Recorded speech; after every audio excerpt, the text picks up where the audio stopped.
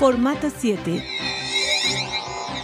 El portal de noticias de Veracruz con la mejor información tanto impresa como digital. Estado, municipios, política, reportajes y la colaboración de los mejores columnistas del Estado. Formato 7. Siempre a la vanguardia de la información.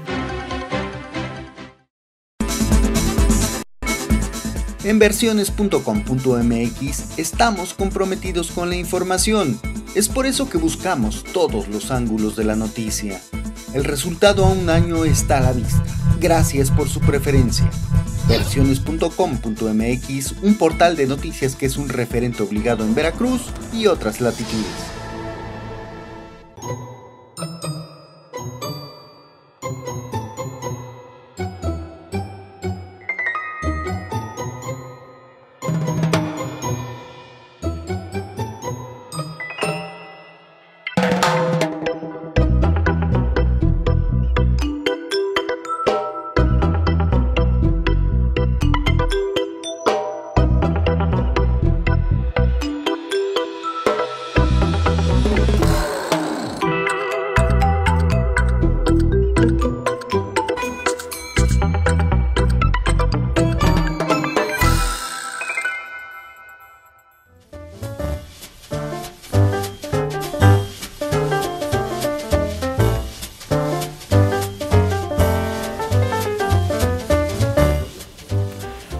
¿Qué tal? Muy buenas noches, bienvenidas, bienvenidos. Esto es Polaca a la Veracruzana, un ejercicio de periodismo independiente de televisión por internet y los saludamos con mucho gusto este martes 15 de septiembre, la noche del grito. En unos, vamos, en unas dos horas más estaremos viendo allí el grito que van a pronunciar todos los alcaldes de Veracruz, del país, el gobernador Javier Duarte de Ochoa, el presidente de la República, Enrique Peña Nieto. Esperemos que se lleven a cabo estas fiestas en paz y en tranquilidad. Y fíjese usted que aquí en Polaca, la Veracruzana, hemos abordado diversos temas, no tan solo temas políticos, electorales, sino también temas religiosos, temas empresariales. Y ahora vamos a hablar de educación, pero de educación a un sector muy, pero muy importante, de la sociedad. Cheque usted qué tema vamos a abordar esta noche aquí en Polaca, a la Veracruzana.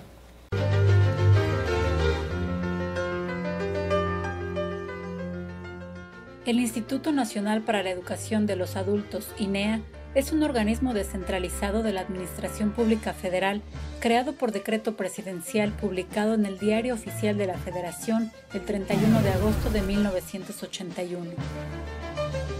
En nuestra entidad, el Instituto Veracruzano para la Educación de los Adultos, IBEA, tiene como finalidad principal prestar los servicios de educación básica, que comprende alfabetización, educación primaria y secundaria, así como la formación para el trabajo, con los contenidos particulares para atender las necesidades educativas específicas de ese sector de la población y, sobre todo, apoyar en la solidaridad social.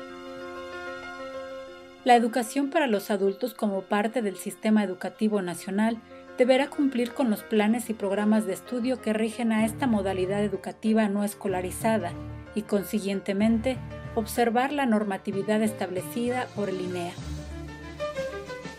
Desde 1965, gracias a la iniciativa de la Organización de las Naciones Unidas para la Educación, la Ciencia y la Cultura, UNESCO, se celebra en el mundo entero el Día Internacional de la Alfabetización el 8 de septiembre, mismo que este año llevó como tema la alfabetización y las sociedades sostenibles. Entre los servicios que presta el INEA a los ciudadanos son alfabetización tanto para primaria como secundaria, educación indígena y comunitaria y por último el trámite de certificados. Cabe destacar que el INEA también cuenta con programas para atender la alfabetización en lengua indígena en varios estados y cuenta con el programa Primaria 1014, dirigido a niños y jóvenes de ese grupo de edad que por diversas razones no pueden incorporarse al sistema escolarizado.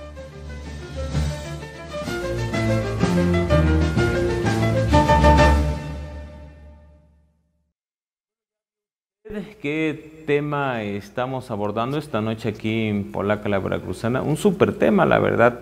que a muchos atañe y a muchos les preocupa el tema de la educación para los adultos. Y para tal efecto hemos invitado esta noche a la licenciada María del Socorro Sandoval Vázquez, directora general del IBEA, que es el Instituto Veracruzano de Educación para los Adultos. Licenciada, Qué gusto tenerla aquí con nosotros. Gracias por haber aceptado. Muchas gracias, Pepe. El placer es mío de estar con ustedes esta noche. Gracias. Y también agradecemos, como siempre, a nuestros compañeros panelistas, todos ellos destacados, eh, periodistas en el estado de Veracruz. Y saludo con mucho gusto a Raimundo Jiménez, autor de la columna Al pie de la letra. Muy buenas noches, Raimundo. ¿Qué tal, Pepe? Buenas noches, buenas noches, Manuel. Licenciada, Buenas noches, y muchas gracias por acompañarnos en esta noche tan, tan especial. Espero que no se le vaya a quemar el pozole. claro que no. ¿Valdría la pena? ¿Eh? Sí, sí, sí. Gracias. Manuel Rosete Chávez, autor de la columna Apuntes y también director general del semanario impreso Formato 7 y también director general de formato7.com, que es la versión web de ese importante semanario. Y le recordamos que formato7.com junto con versiones.com.mx, además de otros portales de noticias de varias partes del estado de Veracruz, transmiten polaca a la veracruzana. Por cierto, cada vez son más los portales que se suman a este importante proyecto televisivo, único, único en la verdad en su estilo por los temas que aquí abordamos y temas que han tenido una gran, una gran repercusión en el ámbito político y social del estado de Veracruz. Y bueno, pues este, ahora sí que, hoy podemos decir este 15 de septiembre, aparte de, Viva México, también viva la, alfabetización, ¿no? Así es, claro eh, que, es una labor muy noble, muy importante. Y viva la educación. Y viva la educación, que es factor de desarrollo, finalmente. Es lo más importante que, que podemos darle a los pueblos, ¿no? Así es, así es. Es el camino único para que un pueblo tenga un desarrollo sustentable, un desarrollo que permanezca, que prevalezca, que no se caiga como muchas veces el desarrollo en obras, obras materiales que son necesarias para un pueblo también, para la sociedad, pero el único desarrollo que trae un, un impacto sustentable es el que se da a través de la vía de la educación. Para ello, pues es eso, ¿no? ¿Cómo andamos actualmente, licenciada, aquí en Veracruz? ¿Cuántos analfabetas todavía eh, tenemos en, eh, en la, población? yo quisiera empezar a decirle que darle un poquito de, darles un poquito de marco, un poquito, un contexto, un contexto en general, para que se comprenda las cifras que yo le daré, Raimundo. Mire, miren ustedes, 70 años no hubo en el país una, una campaña nacional de alfabetización y combate al rezago educativo como el que tenemos el día de hoy. ¿Qué sucedió? Que la primera campaña fue en el año de 1942 con el presidente Ávila Camacho al 44, en donde después el señor Vasconcelos como secretario de Educación lanza una campaña, pero exclusivamente para lo que fueron las campañas de alfabetización. ¿Qué pasó en 70 años en México? Lo que pasó fue que el gobierno de la República cumplió con toda, con toda plenitud el artículo tercero constitucional de llevar la educación básica a los mexicanos. Pero la población mayor de 15 años, de 25, 40, 50, 60, 70 en adelante, qué sucedió con ella cuando tenía que desertar los estudios o un joven de 10, 12 años de edad, por situaciones familiares, económicas o por situaciones sociales, que se, que se fue haciendo autorresponsable de su desarrollo educativo. Y el gobierno lo fue dejando un poco a fuera encontrando los espacios entre trabajar, ir a la escuela, llevar los recursos económicos a su hogar y poder asistir al colegio. Y esa fue la situación que fue haciendo grandes espacios en México para que eh, fuera habiendo lagunas tan grandes como las que tenemos el día de hoy. Hasta que nace el Instituto Nacional de Educación para los Adultos, tiene 33 años de vida, en, nosotros el IBEA nace en el año 2000 y empieza a abrazar, para eso se crea, para ir abrazando esa población mayor de 15 años, más un programa que tenemos pro joven, que es de, jovencitos de 10 a 14 años de edad que no han podido regresar a la escuela, y irlos ayudando a que concluyan su educación básica que fueron dejando en el camino, o aprender a leer y escribir. Y es por eso que las cifras pues son tan impactantes que nosotros estamos llevando a cabo. Imagínense ustedes, fue el 21 de agosto del 2014 cuando el presidente de la República, el señor Enrique Peña Nieto, lanza a nivel nacional la segunda campaña nacional de alfabetización y combate al rezago educativo. Así que la tarea es enorme. Y dando respuesta con este marco para que comprendamos la situación eh, que nos ha llevado a este momento, pues les daré las cifras. En lo que es el, estado de Veracruz, hay una población, como ustedes lo saben bien, de 7.643.194 ciudadanos. Por supuesto que doy la cifra del INEGI, que es el último censo del 2010, estamos en el 2015, puede variar. Por eso hay veces las cifras que se manejan como no coinciden con nosotros, porque yo doy las cifras de población que da el INEGI, pero no las del analfabetismo, porque esas nos rigen a nosotros el, el, INEA. Bien, de esa población mayor de 15 años, ¿cuántos son? Son 5 millones 798 mil 133 ciudadanos. De esa población, ¿cuántos no saben leer y escribir? Son 582 mil 591 personas. Esta cifra va a diferir porque veo con frecuencia que se maneja mayor de 600 mil. Yo tengo la certeza de que las cifras que doy son las reales, porque hemos bajado el analfabetismo en cinco años, que es la, cifra que el INIGE pueda dar, y la que nosotros hemos trabajado con toda seriedad. Pero de todas maneras es una cifra importante. Importante. ¿Cuántos no han terminado su primaria? 945 mil 393 personas. ¿Y cuántas están sin la secundaria terminada? 1.177.424 personas. Pues esto nos lleva a que sumando las grandes tres vertientes que manejamos en el desarrollo educativo del Estado, pues a tener un 46% de rezago educativo. 46%. Híjole, bueno, confiamos en que ningún analfabeta de los que de los miles que hay esté ocupando un carro público.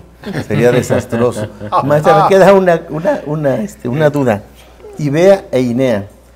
Eh, este, el IBEA como tal se funda en el 2000.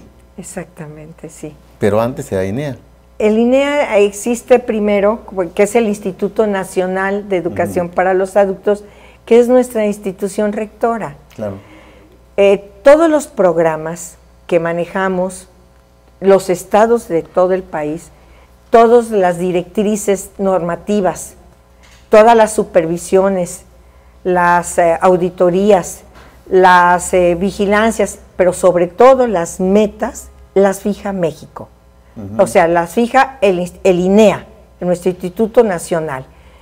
El IBEA se forma en el año 2000 en base a un decreto que se, que se firma con el gobierno de Veracruz para que de esta manera hubiera una descentralización y darle la oportunidad a los gobiernos de los estados, que somos seis, los demás son, siguen siendo federales, siguen siendo delegaciones federales, para que aporten a la educación una cantidad económica y ayuden y se vuelvan coadyuvantes de los programas educativos. Y eso pasa en Veracruz. Por eso es que nuestros siglas son Instituto Veracruzano de Educación para los Adultos, para que hubiera esa aportación. Les pongo un ejemplo. La campaña nacional del señor presidente de la República, nuestro gobernador del estado, el doctor Javier Duarte de Ochoa, se adhiere inmediatamente a esta campaña con una gran voluntad. Y entonces, independiente de la aportación estatal que por convenio debe de darnos al año, aporta un compromiso de 18 millones como Estado para poder trabajar exclusivamente en la campaña nacional, enriqueciendo eh, la aportación que el señor presidente nos da de 1.500 millones de pesos extraordinarios para la pura campaña de alfabetización y abatimiento del rezago educativo para el país, pero nos toca una parte a Veracruz hasta el 2018, vamos a disfrutar de esas partes que la federación nos da y los 18 millones que serán eh, aportados por el gobierno. Es por ello las, la nomenclatura, pero los programas, eh, las metas, el trabajo, la vigilancia, la supervisión, viene del INEA. Pero por lo que veo, escucho, creo que ha sido más eficiente el trabajo del IBEA que el anterior. Le voy a decir por qué. En el, en el gobierno de Miguel Alemán, el entonces secretario de, Educación, don Juan Maldonado Pereda, este, eh, habló de que se había eh, este, abatido el analfabetismo y que las banderas blancas del, estaban levantadas. Banderas blancas en casi todo. Que ya no había un solo analfabeta en el, en el Estado, lo que fue una total mentira, ¿no? Bueno, qué pasó? Eh, nosotros tomamos al instituto, tomé posesión el señor gobernador me hizo el, favor, el honor enorme de darme la responsabilidad de trabajar en esta hermosa institución que todos los días que hemos caminado cada día nos convencemos más de la gran misión, que, son, que somos unos verdaderos misioneros de la educación, la responsabilidad que tenemos. Cuando entramos el 23 de enero del 2014, en el mes de febrero asisto al primer Colegio Nacional de Delegados. Y quiero hablar con la verdad. Eh, me hago responsable de cuando yo llego al día de ahora, pero cierto es que hay que hablar en qué estado llegamos ese día a encontrar el instituto. Y en la primera reunión nacional del Colegio de Directores y Delegados, presentan a la República Mexicana en los lugares que tienen en este gran, eh, en este gran reto para las metas a cumplir. Y yo sí me sorprendí mucho, les confieso que me sentí eh, ahí en la mesa de trabajo un poco preocupada, angustiada, porque yo sabía la tarea que había en el IBEA, pero el gran reto era enorme cuando vi las cifras. Y efectivamente Veracruz tenía uno de los últimos lugares a nivel nacional de analfabetismo. Recuerdo bien que esa noche llegué y, medité a solas ante las cifras que se nos presentaban que, no sabía por dónde empezar. Era tanta eh, el trabajo que se veía venir que teníamos que hacer una reorganización. Efectivamente, Veracruz eh, ocupaba un lugar eh, eh, de los 32 estados de la República Mexicana, pues estábamos en, un lugar 30, 28, muy, muy bajo. Incluso creo que tenemos una, gráfica comparativa donde se ve cómo estaban en el, 2014 y bueno, y ya ahora 2015. No sé si la puedes poner, señor productor para, para ver esa, ahí está la gráfica. Es muy importante, sí. sí. Muy importante porque esta gráfica comparativa nos da exclusivamente lo que hemos logrado del 2014 al 2015. Pues Pero hay más, estuvimos en el Colegio de Directores hace 15 días y Veracruz ya ocupó el primer lugar a nivel nacional de incorporación para alfabetizar. En un mes, del primero de agosto al 31 de agosto incorporamos para que empiecen a leer y escribir un total de, de, de 13.008 personas. En la historia habíamos logrado esa cantidad. Representó el 25.51% de la República Mexicana, nos siguió Guerrero. El estado de Guerrero logró el 12% y sumando el 25.5% de Veracruz más el 12% de Guerrero, ayudamos al que el INEA ocupara un número en la historia del país que no había ocupado para alfabetizar. Quiero aclarar que es los que incorporamos para que empiecen a aprender a leer y escribir. Otra cifra es la que van acomparsando en el estudio y la que vamos logrando que concluyan sus estudios. Pero en esa cifra también es importante, las cifras las da México, traigo las gráficas que México emite, no nosotros, nos las manda México, que son estas, y son importantes porque la deserción era muy alta, por eso no se ve reflejado mucho el avance del alfabetismo en, México y en general, porque incorporamos y se, van, que, se iban quedando en el camino y no comparsábamos. Cierto es, recibíamos reclamos muy fuertes. Ahí está la, gráfica, ¿no? El comparativo. El comparativo, sí. De usuarios que concluyen el nivel. Ese es muy importante y les voy a hacer llegar a ustedes. Este es el nivel nacional, todos los estados de la República Mexicana y el lugar que ocupó. Eso lo manda México, no son cifras que nosotros hacemos. Y este es de 25 coordinaciones de zona en el país, tres está Veracruz en primer lugar con resultados de incorporación. Antes de 100 educandos que empezaban, se nos iban no solo los 100, tanto más se quedaban en el camino. Qué frustrante. Por ejemplo, frustrante, claro, por situaciones económicas. Eh, ahora en el 2014 bajamos a 24 y ahorita vamos en el 12%. De 100 sigue habiendo deserción. De 12, de 100 alumnos, 12 se nos van y estamos ya luchando por eso. ¿Cuáles son las estrategias que hemos implementado para que el alumno concluya? Pues en primer lugar el acomparsamiento. Los inscribían, pero no los, no los seguíamos en esa enseñanza no nos preocupábamos por ir a ver qué pasó con usted, doña Juana, por qué eh, ya no regresó a la escuela, pues se enfermaron mis hijos o mi esposo dejó, se quedó sin empleo. Y no había esa tutoría, le llamamos nosotros, para poder penetrar bien en la información de cuáles eran las causas. Ahora ya lo hacemos. El acomparsamiento, la tutoría nos ha dado un resultado excelente. Hay que ir a la casa, hay que tocar la puerta hay que preguntarle al educando por qué, por qué no termina. La otra gran estrategia es la beca. Estamos becando para que si tienen que dejar de trabajar en algunas ocasiones, las señoras, que es donde tenemos el 60% del analfabetismo mayor en la mujer y en la zona rural, pues en ese veamos que con una beca pueda sacrificar un poco, hay veces sus centavitos o compartirlos con el estudio. ¿Son becas que de Sol? No, nuestras. Ah, propias. Nuestras, propias del IBEA. Nosotros con nuestros recursos federales aportamos las becas. Por ejemplo, nos sumamos a, las a los grandes problemas programas perdón, de nuestras instituciones hermanas, que es Prospera y CONAFE, con las que vamos de la mano seriamente trabajando pero tenemos propias becas como el, que le damos a las, a, las, em, a las mamacitas que de 15 años en adelante esperan bebés.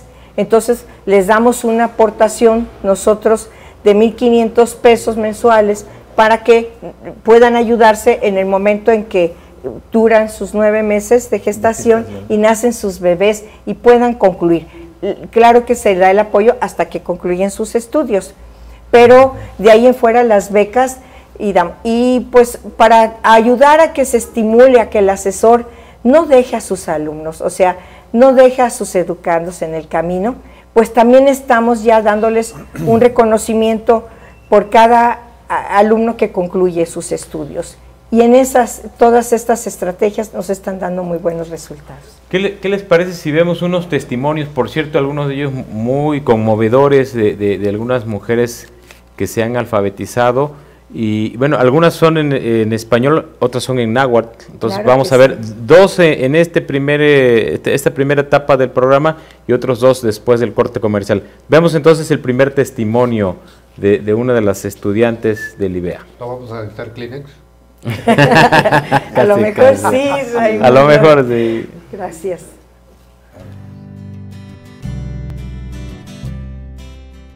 que una misión nos une.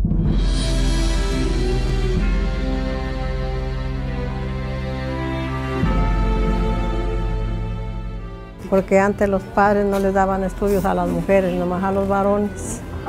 Sí, por eso no estudié. Nosotros vivíamos en el campo, en un rancho, y por eso no, no estudié. Yo no, no, no, leía, no sabía leer nada, lo que sabía era mi esposo. Y, y, mis hijos, cuando los pusimos a la escuela que ya aprendieron, pues ellos sabían, yo no. Pero ahora que mi esposo falleció, pues ya me dieron ganas de aprender.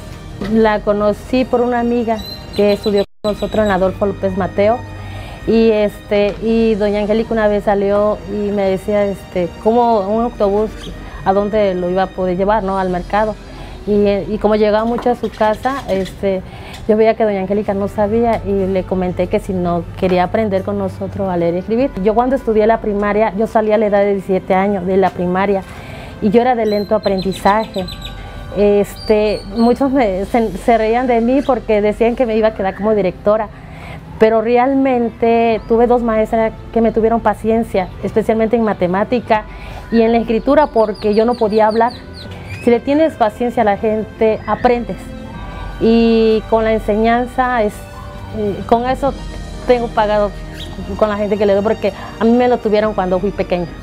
Pero la maestra tuvo mucha paciencia y me enseñó bien. Gracias a Dios, hasta ahorita pues ya puedo poner mi nombre, ya puedo leer. Uy, se siente una cosa bien bonita porque ya nadie le engaña a uno, ya nadie le puede decir una cosa que no es. Les diría que estoy muy agradecido porque me enseñaron, me tuvieron paciencia y me enseñaron.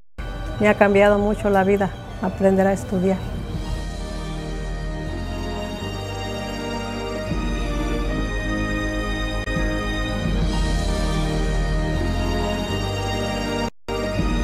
Juntos creamos contagios de vida.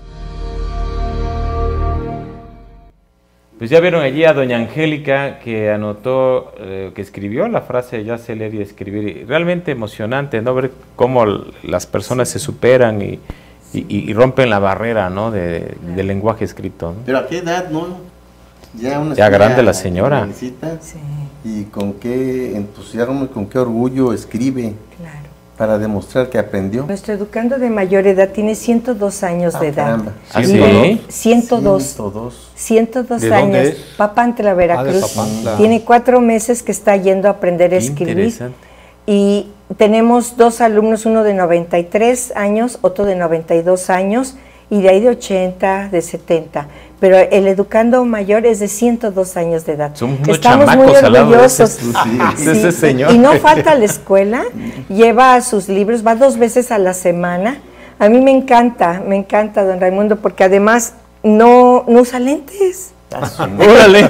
Qué bárbaro. Entonces es un ejemplo de vida. Sí, y cuando claro. yo le pregunté que por qué había decidido a esa edad aprender a leer y escribir, dijo, porque, a- porque ahora yo sé que sí puedo. Quiero hacer mi epitafio. Eh, Quiero ser bibliotecario. ¡Qué cruel! No, eres. bueno.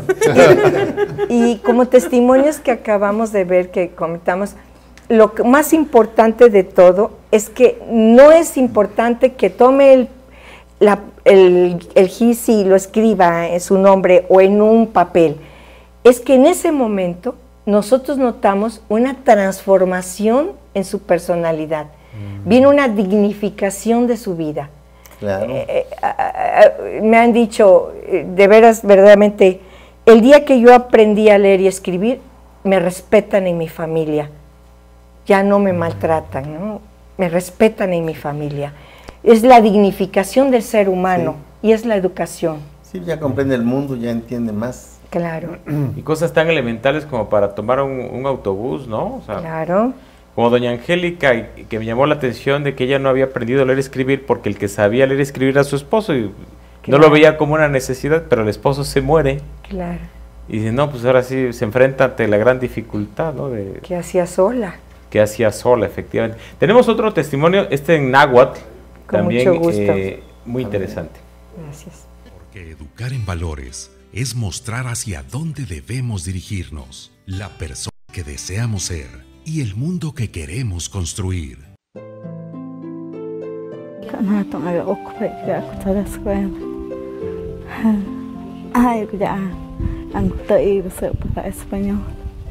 Pues que gente este, a la agencia municipal. Pon mada en pero y mi como para los adultos de cuyo ya. Pues yo era para ahí tirando para cuyo todo. Pues están coteyo marana que están po. Maho.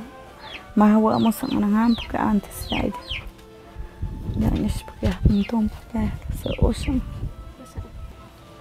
Pues este antes ya llegan coteyo iba libro en español. Mamá. Pues como saben que hay maestra ya pues claro que coteyo mamá ya unas cuantas palabras medio fácil, difícil pues Pacin través serang madaya pa. Em yo me llave que te ia para madaya pa na chance sa yak se me kinto un papel da mi spek. Pues a na mi spek mamman gini ya ni sa ni spek onnei. Pues te na mi ya pridiri pa kem pa koyo ya pa. Pacin na ende ki madai kem pa kara ki man mamman ku tengo ka nak pa pa kan ko te ia. Letra ya pa ko te ia pa.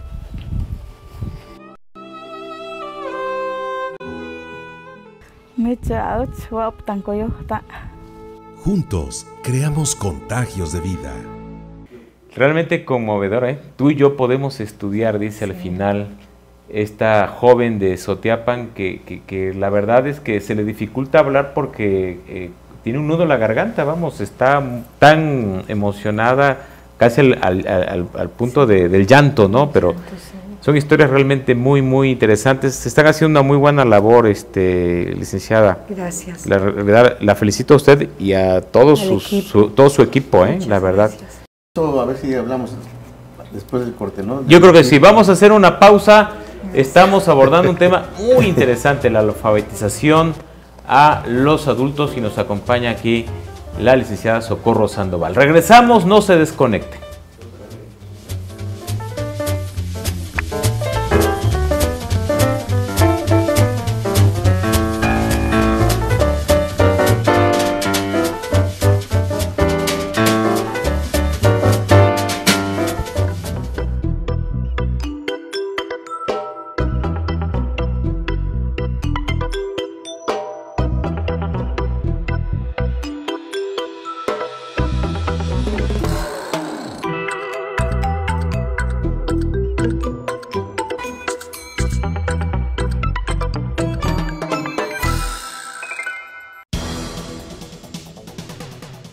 Orizaba y la región, la información precisa y oportuna se encuentra en Diario Noticias.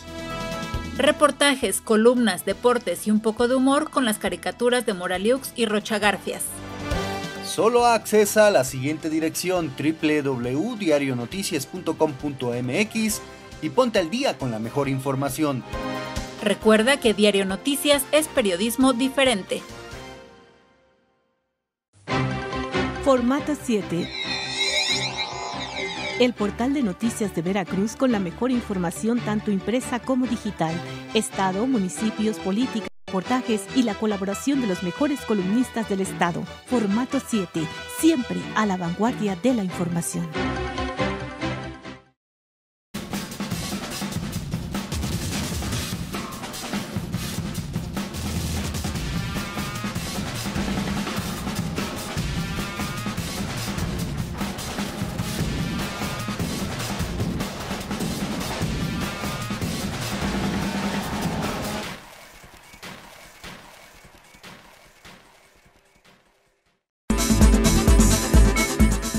En versiones.com.mx estamos comprometidos con la información.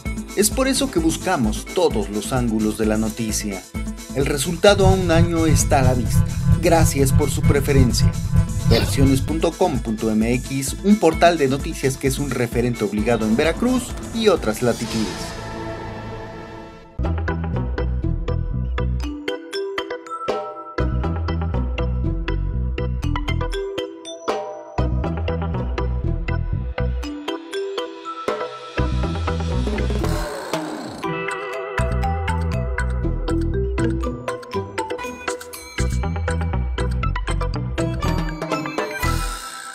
Qué bueno que sigue aquí con nosotros en Polaca, la Veracruzana. Seguimos charlando con la directora general del IBEA, la licenciada Socorro Sandoval. Eh, durante el corte estamos hablando del edificio tan moderno que ahora tienen sobre la avenida Américas, casi para llegar a qué calle, ya no me acuerdo. Eh, este ferrocarriles Ferrocarril interoceánico, sí es cierto.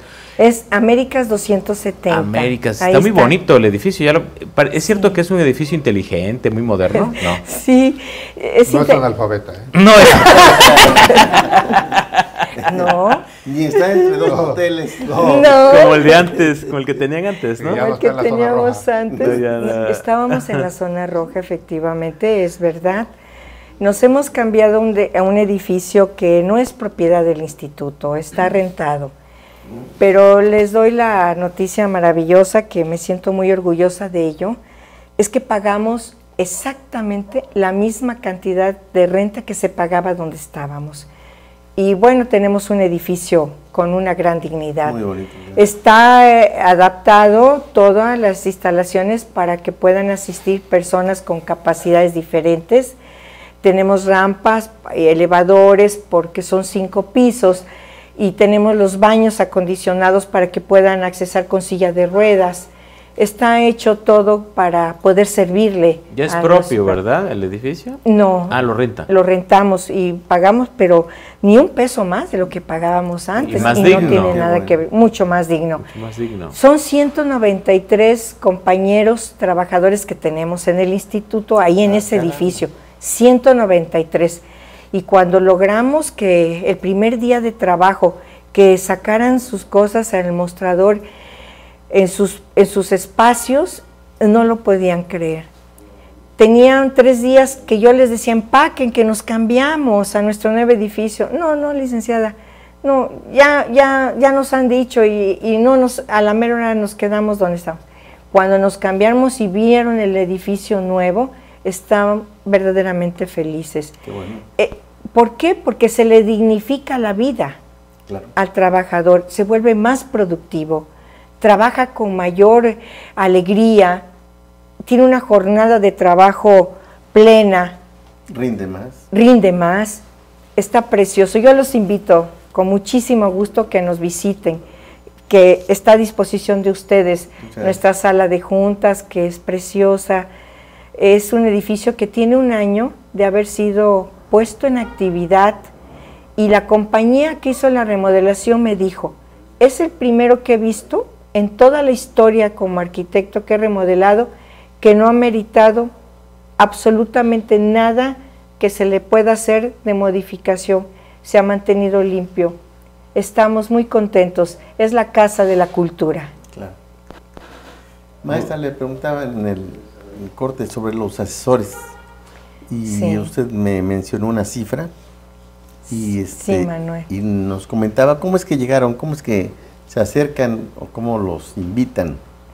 Sí, esto lo hacemos, es muy importante porque asesores pueden ser cualquier figura voluntaria, solidaria que, que quiera darnos tiempo para enseñar a leer y escribir. Por supuesto que necesitan una preparación especial. Nosotros vamos a las comunidades, invitamos, convocamos a los jóvenes. Ahorita tenemos convenios nacionales con instituciones que que nos acercan a las figuras solidarias solas, pero otras vamos por ellas en las comunidades. Por ejemplo, enseñanza media superior y superior y CONAFE nos dan jóvenes, los tecnológicos nos dan jóvenes y nosotros a, través de sus propias escuelas les acreditamos su servicio social o les damos este, esa compensación de 1.500 pesos por educando que reciben. Eh, estamos listos para firmar con la sección 32 del Magisterio para recibir 3.000 maestros jubilados y pensionados que se acercan a ser asesores. O sea, es otra forma de la que nos hacemos de asesores. La sección 32 del Magisterio, con el maestro Callejas que firmaremos en próximos días, nos va a poner a disposición los maestros jubilados y pensionados que gusten ayudar y estamos encantados. En primer lugar, a ellos no los tenemos que capacitar para ser asesores. Saben leer y enseñar a leer y escribir. perfectamente bien. Segundo lugar, tienen tiempo de sobra. Y vocación. Y vocación, exactamente. Y ellos muchas veces piden, quieren seguir enseñando y no encuentran cómo. Y nosotros estamos recibiendo los asesores nuestros. Y por otro lado también se adaptan al tiempo que nuestros educandos nos demandan. Como ustedes comprenden, nosotros podemos dar clases sábados, domingos, eh, muchas veces en días festivos como el de hoy, 15 de septiembre, tenemos horarios flexibles, 5 de la tarde, 7 de la noche, porque es la hora en que pueden nuestros educandos aprender. Pues nuestros maestros jubilados tienen tiempo de sobra. Otra forma de tener nuestras figuras solidarias, pues es a través de Prospera, que todas las, eh, eh, personas que reciben sus aportaciones algunas las invitamos a que aparte de que a lo que tienen derecho que Prospera les da como su ayuda o a empresas productivas, se formen con nosotros. El requisito es tomar un curso de capacitación para formarlos como asesores. Les explico por qué. En el, en el INEA y en el IBEA tenemos un lenguaje propio. Nosotros a los libros les llamamos módulos. A nuestros alumnos les llamamos educandos y a nuestros maestros asesores. ¿Por qué razón? Porque enseñamos a través de un lenguaje, un, módulo, o sea, un libro muy diferente al de la educación básica a la que se va a la escuela en la primaria y la secundaria. Sistema escolarizado. Exactamente. Tenemos un libro que le llamamos el MEVIT, que es el libro que enseña al educando para la vida y el trabajo, lo prepara para la vida y el trabajo. Y no se lleva cinco años de escuela, es imposible. Entonces nuestros jóvenes y adultos mayores que van a aprender a leer y escribir o a terminar su primaria y su secundaria, se llevan seis meses, ocho meses, doce meses y hay veces hasta 18 meses porque van una hora a la semana o dos horas a la semana o tres según la disponibilidad de tiempo. Pero el mayor tiempo que ahora estamos teniendo es que con el módulo que tenemos, que es, le llamamos palabra generadora, a través de una palabra generamos miles de frases, de oraciones, y a través de imágenes es como enseñamos a leer y escribir en forma más ágil, mucho más accesible al entendimiento de una persona pues de 50, 60, 70, 80 años de edad. Entonces el asesor se prepara y nosotros los invitamos en las comunidades. Tenemos asesores que son hijos que enseñan a sus padres, ah, hijos que enseñan a sus abuelos. Entonces los asesores los tomamos de las propias comunidades o los tomamos de nuestras organizaciones eh, gubernamentales, federales, estatales y municipales. Y como en nuestro caso último, tenemos asesores alcaldes que se han preparado, han tomado 18 horas para formarse como asesores y alcaldes están enseñando a leer y escribir sábados y domingos. ¿Como de qué municipios? Como el de Alto Tonga, por ah, ejemplo. Carlos Morales. Carlos Morales eh, está enseñando.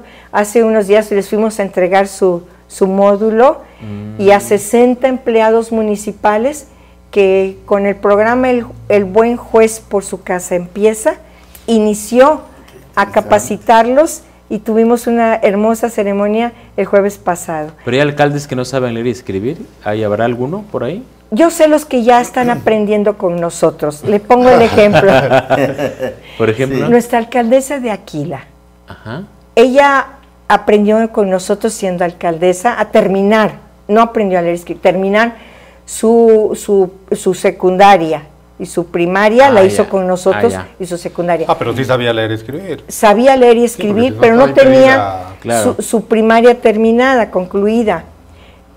Y cuando recibió su certificado, lo quiso recibir con su pueblo. Ah, qué bonito. Fue un acto muy emocionante, porque ella primero meditó si podía recibir su certificado de su primaria con su pueblo. Y cuando se le entregó, la reacción del pueblo fue tan hermosa que fueron y la abrazaron y le dijeron gracias porque sabemos que te estás preparando para ayudarnos mejor. Qué bonito. Entonces, sí sé, quiero decirle que estoy muy agradecida con las 27 mujeres alcaldesas y los 185 alcaldes de Veracruz. Hemos firmado los 212 convenios para que combatan el rezago educativo de cada municipalidad. Es la comunión perfecta, la que se da entre la autoridad municipal y su pueblo. Es el que tiene contacto más directo y ahí es donde se ve la comunión perfecta del compromiso de trabajo. Y es el único camino, la educación que los 212 alcaldes han tomado para que le transforme su sociedad plenamente. Les pongo un ejemplo, un ciudadano educado no tira basura en la calle. Un ciudadano educado cuida el agua, barre el frente de su casa, obedece las normas, tiene civismo, cumple las leyes, respeta a los mayores. Un ciudadano educado no comete delitos, siempre hace actos de bien porque los aprendió en los libros. Y sin embargo demandamos cada vez más presupuesto para limpiar las calles, para limpiar las aguas, para comprar más armas, para asegurar más a la sociedad, la inseguridad. Cuando la calidad de vida no, va por ahí. No va en el va dinero. por el lado de la, de la educación. Es la educación. Es la que les va realmente a transformar a la sociedad para siempre. Es por ahí donde tenemos que caminar. Interesante. Eh, lo, de los municipios, eh, eh, ¿cuáles son los que enfrentan mayor rezago educativo? Es decir, ¿cuáles son los municipios que tienen más analfabetas en el estado? Hasta ahorita la cifra que tenemos marcada es el de San Andrés Tuxtla, pero es por su número de población. Mm.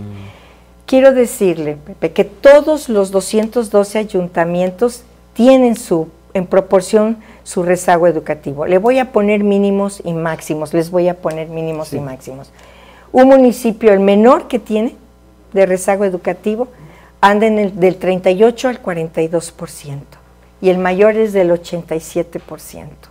En ese rango están los 212. Es muy interesante porque cuando firmamos los convenios, como pasa por cabildo, autoriza al alcalde a que firme el compromiso y a la vez firma el síndico también o la síndica según el caso, entonces leemos el rezago educativo que tiene el municipio. Y la sorpresa es verdaderamente, eh, se nota en la expresión, en el rostro de las autoridades municipales cuando ven... En el, caso de San Andrés se avergonzó el alcalde. Eh, eh, él muy comprometido, ¿eh? Muy comprometido. no, no, yo creo que el enfoque no es tanto la autoridad que está al frente, sino lo que hay que trabajar.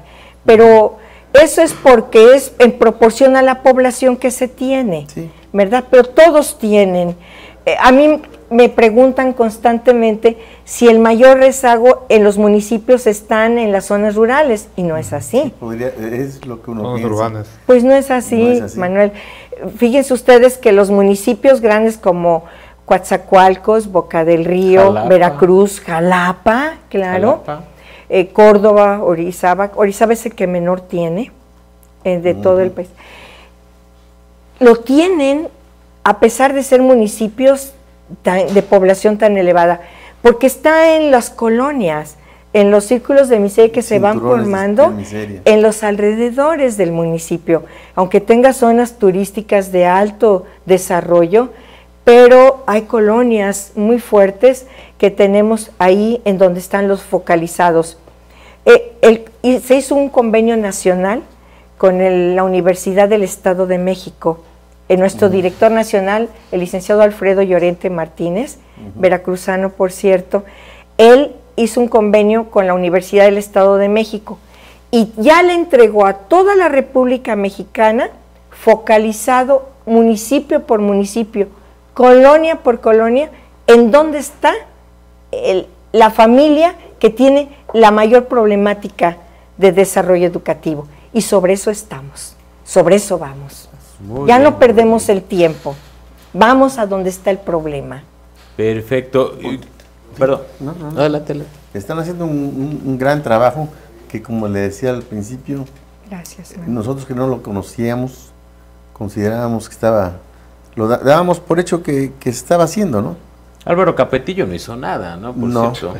no, no, no, Nada que ver con el trabajo que está usted haciendo. Álvaro Capetillo, sí. su antecesor, ¿no? Sí, señor, pero yo me hago responsable de cuando llegué al instituto al día de hoy. De ahí para acá. Capetillo fue el que sí, fue a parar a Pacho. Sí, estuvo en la cárcel. Sí, nada más. Finísima persona. ¿No andaba alfabetizando ahí? Creían que había ido a alfabetizar. Sí, no, vamos, a, vamos a otro testimonio este, de, de, de personas que están haciendo un gran esfuerzo por cambiar su vida.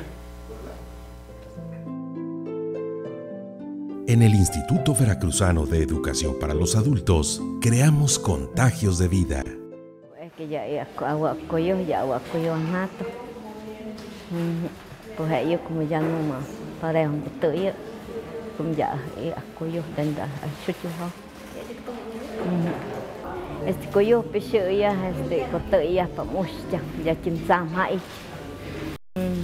Es que no me llega coyo, coyo porque este se ve un poco de oportunidad. Ellos con un coyo, ellos que se san coyo. Matan, porque matan. Pues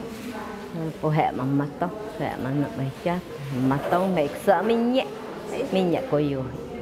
Pues yo, yo pues en primer lugar pues le, les ayudé para que le invité, para que yo le dije que Sabina, ¿por qué no vienes a estudiar? Me dijo Sabina que Sabina dijo que él le gustaría pues estudiar y, y también le gustaría para aprender más, porque antes cuando era niño pues tampoco no sé, ni, sabía pues leer. Sí. Ahora estamos haciendo pues sobre, estamos enseñando su nombre y su firma y también estamos enseñando cómo, cómo escribir.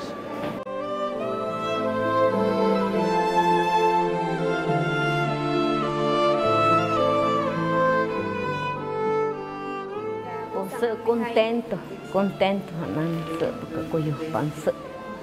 Anang pa mẹ ya na masami pues pa pues. Sợ como ha ma ba man sợ yam chim pareo sok pa ni pues.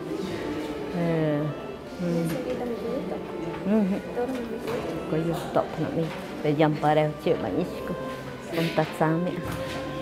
Bueno, echanam pa. Este adulto para que para que pa más cuyo ya hay más o otro que y pues para que también que hay los que echan que como asesor Juntos creamos contagios de vida. Pues ya vio usted, ya vio usted la historia de Sabina y también su entusiasta asesor que pues ahí le echa ganas, que por cierto el asesor es bilingüe, ¿verdad? Decimos sí. que al Sí. final este, habló en, en náhuatl. ¿Y, y, y cuánto les pagan a los asesores? Lo, lo platicábamos aquí en el corte, pero bueno, replateo la pregunta para que nuestros televidentes este, estén enterados. Mire, Pepe, nosotros no le llamamos pago. Ah, ya. A los asesores tienen una gratificación, tienen una compensación. No le llamamos pago porque no están en nómina, no son trabajadores. Eh, No podrían es, trabajar así con nosotros porque necesitamos asesores, como bien explicaba, con flexibilidad de tiempo y oportunidad. Entonces les gratificamos eh, con una compensación este, que les damos a figuras solidarias eh, vía patronato, que un patronato que creamos para que por vía patronato des- demos esas compensaciones. Y reciben eh, de 1.500 pesos para arriba eh, sus gratificaciones según el número de, de alumnos que tienen, de educandos que tienen. Y, y no hay límite, pueden tener 10, 20, 30. Claro, por supuesto que si un asesor nos presentara que tiene, por decir, por exagerar, 100 alumnos, pues no lo creeríamos porque no tendría tiempo para enseñarles sí, a tantos, ¿no? Pero tenemos un rango eh, a, a 50 máximo por diferentes lunes, miércoles y viernes, martes y jueves, como los presentan. Entonces, no tienen límite para los alumnos que puedan enseñar. La gratificación se da cuando el educando ya concluye y mensualmente tienen una cantidad de dinero para solventar sus gastos en la enseñanza. Por ejemplo, qué gasolina, qué transportaciones. El instituto pone vehículos, acabamos de con la ayuda del el señor gobernador de Veracruz y nuestro director nacional, adquirimos 59 unidades y 18 cuatrimotos que entran a, las, a la sierra, las, las zonas más despobladas, porque no hay acceso para los vehículos normales, las camionetas normales. Entran las cuatrimotos y con eso se transportan. Entonces, para sus alimentos, viáticos, todo eso les da el, el INEA. Y ya de esa manera eh, nosotros los ayudamos a que ellos lleven su trabajo. Y por cada educando que concluye, se les da parte una compensación y eso ayuda muy bien a, tener una forma de vida. Oiga, licenciada, eh, hace rato comentábamos que tienen asesores también eh, para instruir a, a, analfabetas sordomudos. Claro que sí, estamos muy orgullosos, Raimundo, muy orgullosos. Un día recibí la llamada de Astrid, la directora del, del DIF estatal, y me dijo, Soco, ¿qué posible? La señora Karime está muy preocupada porque nos acabamos de enterar que hay 35 mil sordomudos en Veracruz. Y de esos 35 mil, 18 mil no saben leer y escribir. Y les confieso que yo misma ignoraba esa cifra y la ratificamos con el INEGI. Y es sorprendente. es muy alta, Es muy alta, sí es muy alta. 18 mil no saber leer y escribir, pero están en estado de indefensión. La mitad. ¿Por qué razón? Porque ellos van a la escuela, pero los libros de texto normales de la educación básica no, les ayudan, no les sirven. Entonces le dije, claro que hay posibilidades, nos vamos a poner a trabajar y en 17 días tuvimos el libro de texto único en el país. No hay uno igual en México. Hay libros Brainer. ¿En Veracruz? En Veracruz lo hicimos. Lo hizo el Criber de Orizaba conjuntamente con los asesores que tenemos nosotros para enseñar a sordomudos que ya teníamos. Lo que sucedió fue que eh, se tomó un grupo de de alumnos y asesores este, sordomudos y les dimos la tarea de que nos ayudaran a traducir el libro de la palabra del que les hablo, con el que enseñamos a los adultos. Se hizo la traducción en, en la lengua de enseñanza mexicana, que le llamamos así, para los discapacitados auditivos. Es muy importante porque, porque no es aprender con señas es aprender en el lenguaje de los sordomudos. Por ejemplo, la gramática es muy diferente. El verbo va al final de la frase y tienen lenguajes propios de expresión. Entonces, ¿qué sucede con una persona que no escucha y no habla? Para tomar un camión, yo les preguntaba cómo entonces le hacen en la vida. Me dice, es nada más como si tomaras una fotografía y te y o el color de los camiones o eh, van a un supermercado y las marcas, pero no leen. O sea, se graban nada más la imagen, el color. Exactamente. ¿Y cómo se defienden entonces en la vida? Entonces el libro que ya fue entregado por el licenciado Llorente a la señora Karime hace menos de un mes, ya tiene toda la enseñanza a través del lenguaje propio de los sordomudos. Ya aprenden a leer y escribir a través de los libros, de su propio dialecto. Y es el único en el país. Mm, ¿Ya se ha retomado en, no se ha retomado en otros Llevamos 10 estados que se está enviando. Ah. Eh, ahorita el INEA se está encargando de eso. De hoy se editaron 200 y eh, para trabajar Veracruz, pero el INEA ya está mandando a 10 estados del, país para que lo adopten como el libro base para la enseñanza. Una muy buena aportación de Veracruz. Claro que sí, por supuesto que sí. Qué interesante. Tenemos creo que un último testimonio, ¿verdad, Ezequiel? Vamos a, a darle curso.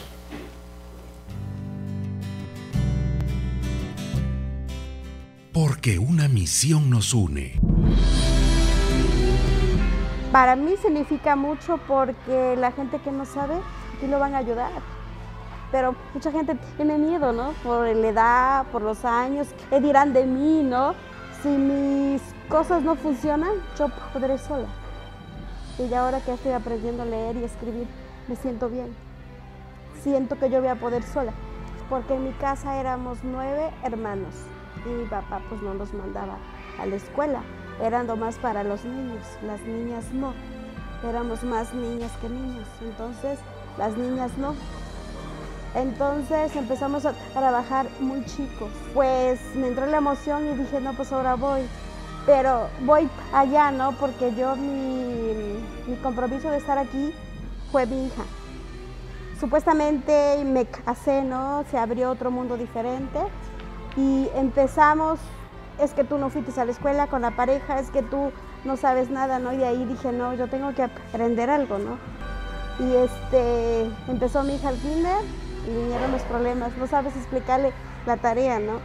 Y decía yo, pues el trabajo es de los dos, ¿no? Y se me ofreció esta oportunidad y estoy aquí también. Quizás me hizo fuerte la pérdida de mis papás, que tienen menos de dos años que se fueron. Bueno, el día que nos toca estudiar, yo adelanto mi libro. Llego y le pregunto las tareas si están bien lo que yo hice, o ella me corrige, me enseña cómo hacerlo. Nunca es tarde para aprender. Juntos creamos contagios de vida. Bueno, ya vio usted otro testimonio realmente alentador, gente que desea cambiar su vida a través de la educación, aunque ya sea en una edad, eh, pues sea un poco ya adulta, una edad avanzada. Pues se nos ha acabado el tiempo, eh, la verdad es que mm, ha sido una charla muy interesante, licenciada Socorro Sandoval, eh, la verdad es que me quedé reflexionando, pues que no, no todo es el tema de la política, no todo es el tema de cuestiones electorales, partidistas, estos temas también son muy interesantes, ¿no crees? Son este, mucho, muy importantes y conmovedores. Créame, este, eh, maestra, que me deja un muy buen sabor de boca. Yo pensé que ya venía por datos, por números, por cifras. no, hombre, venimos por testimonios tan bonitos y Gracias, por eh, resultados como el del libro este para sordomundos que Claro. nos dejan impresionados. Muchas gracias. felicidades. Muchas gracias. Yo quiero decirles a ustedes que verdaderamente les agradecemos de todo corazón el tiempo que le han dedicado al Instituto Veracruzano de Educación para los Adultos. Hay un equipo enorme atrás de este que trabaja 18, 20 horas al día. Gracias Pepe, Manuel, Raimundo, porque los necesitamos mucho a ustedes. Sin ustedes no difundimos estos grandes esfuerzos que necesitamos dar a conocer para que se nos unan.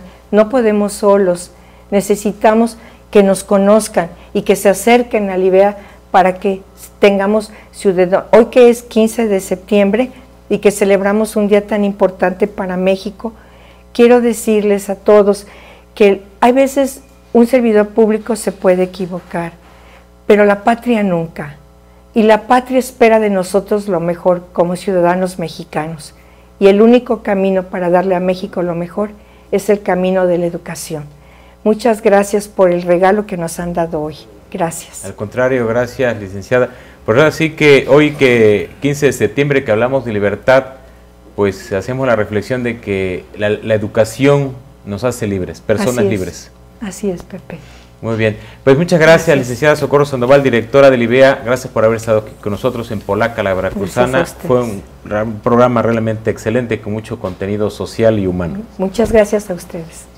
Eh, muchas gracias también a Raimundo Jiménez. Gracias por habernos Gracias acompañado. Pepe, gracias Manuel, gracias licenciada. Pues dicen que no va a haber cena, pero vámonos al grito y a oír a Pedrito Fernández. Ándale, nada más empanaditas. Sí. Nada más puras tequila. Al menos va a haber empanaditas y no picaditas. y no es albur. Muy bien, gracias Manuel Rosete. Hombre, gracias a ustedes. Gracias. Muchas Nuevamente, gracias a ustedes. Pues sobre todo gracias a usted por habernos acompañado. aquí a lo largo de esta hora en Polaca, la Veracruzana. Y pues antes de decir viva México, los invitamos a que nos vea el próximo martes a las 9 de la noche aquí en Polaca, a la Veracruzana. Buenas noches, que descanse. Y si da el grito, poco dulce, ¿eh? Buenas noches.